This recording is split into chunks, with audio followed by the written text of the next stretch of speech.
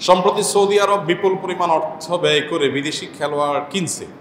এটা কি অর্থের অবমূল্যায়ন নয়, যেখানে আমাদের অনেক মুসলিম দেশের জনগণ অনাহারে থাকছে?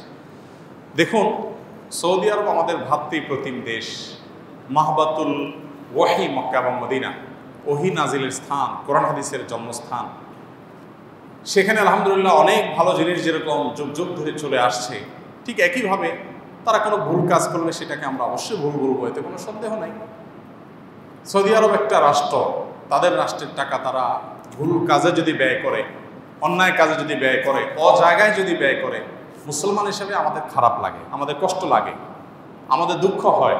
বিশেষ করে সারা পৃথিবী থেকে হজ করতে গিয়ে ওমরা করতে গিয়ে, আমাদের দেশের ডলার, আমাদের দেশের বৈদেশিক মুদ্রা, এগুলো নিয়ে নিয়ে সেখানে আমরা রেখে আসছি। আমরা হজ করতে গিয়েই করছি এবং এটা সুফলটা তারা ভোগ করছে।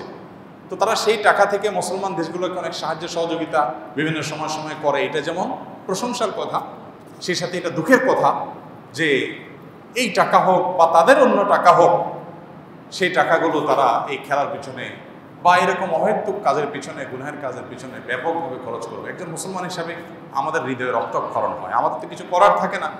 আল্লাহর কাছে ফরিয়াদ করার চোখের পানি ফেলা ছাড়া আমরা দোয়া করি, আল্লাহ রব্বুল আলমিন তাদেরকে হেদায়ত দান করুন। তাদেরকে আল্লাহ তারা সুমতি দান করুন।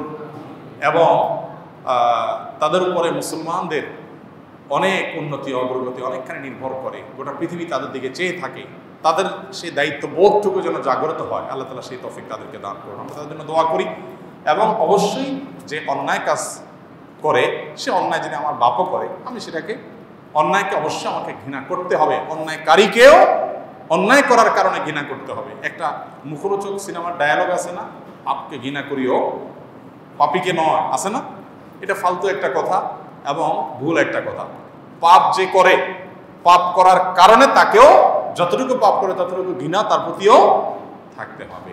তবে সেই সাথে ভালো কিছু থাকলে সেটা স্বীকৃতিও দেওয়ার মানসিকতা থাকতে হবে। এটা ঠিক যে সাদা কাপড়ের ময়লা অনেক বেশি লাগে। আমরা যদি আমাদের দেশে কথা বলি, আমাদের দেশে মানে জনগণের ট্যাক্সের টাকা সেটা কত অজায়গায় ব্যয় হচ্ছে, কত অজায়গায় খরচ হচ্ছে, দুর্নীতি হচ্ছে, অন্যায়ভাবে ব্যয় হচ্ছে, অপচয় হচ্ছে, যে জায়গায় আমি চাই না, সে জায়গায় আমার ট্যাক্সের টাকা ব্যয় করা হচ্ছে, আমার ইচ্ছার বাইরে, এরকম শত শত নজির আমাদের দেশে আছে না? গোটা পৃথিবীতে এরকম বহু নজির আছে। কিন্তু সৌদি আরবের কাছে মানুষের এক্সপেকটেশন অন্য দশটা দেশের মতো না, নিশ্চয়ই অনেক বেশি থাকে।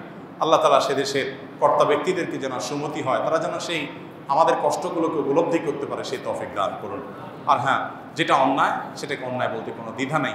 যেটুকু ভালো, সেটুকু ভালো বলতেও কোনো দ্বিধা নাই। আল্লাহ রব্বুল আলমিন আমাদের সবাইকে ফজমা সফা দামা কাদার ভালোটা গ্রহণ করা আর মন্দটাকে মন্দ হিসাবে জানা, বলার তফিক আল্লাহ